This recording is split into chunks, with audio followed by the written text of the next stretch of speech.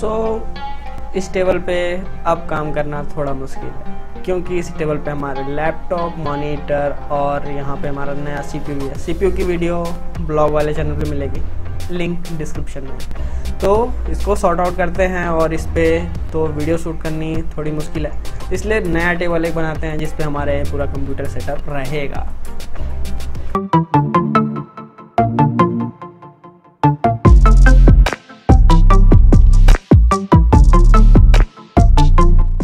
So, सबसे पहले हमें ज़रूरत थी प्लाई की तो यहाँ पर मैंने पाँच फीट बाई ढाई फीट की एक प्लाई कट कर ली और फिर हम पहुँच गए मेटल शॉप पे जहाँ पे लोहे का काम होता है।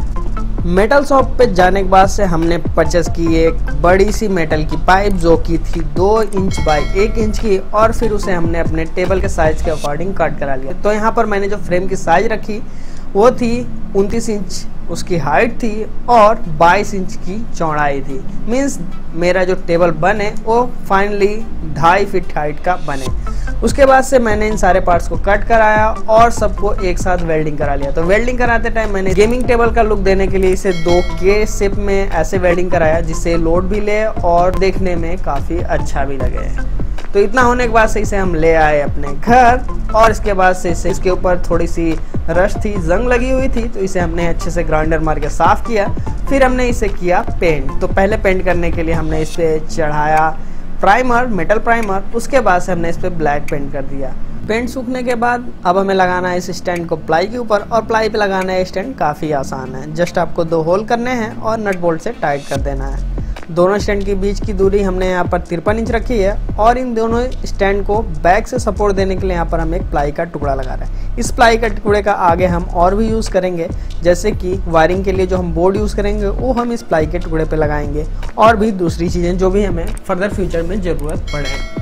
अब बाहर से जब टेबल अंदर आ गया तो फिर अब हमें मॉनिटर लगाना था, जो कि लगने वाली है दीवार पे। तो दीवार पे मॉनिटर लगाने के लिए पहले हमने इस पे लगाया वॉल माउंट और फिर उसके ऊपर हमने अपना मॉनिटर एक्चुअल में मॉनिटर नहीं है रियलमी की टीवी है तो जिसे मैं एज अ मॉनिटर यूज़ करता हूँ। और यहाँ पे पूरे सिस्टम को पावर अप करने के लिए मैं यहाँ पर आठ पॉइंट का बोर्ड यूज़ कर रहा हूँ, और इसे हम लगाएँगे नीचे, जो हमने बैक में क्लाई का सपोर्ट लगाया था इस पर और इसे टाइट करने के बाद से थोड़ा प्रीमियम लुक देने के लिए यहाँ पर हम सामने बिट लगा रहे हैं, जो कि इसे थोड़ा एक सर्कुलर लुक देगा।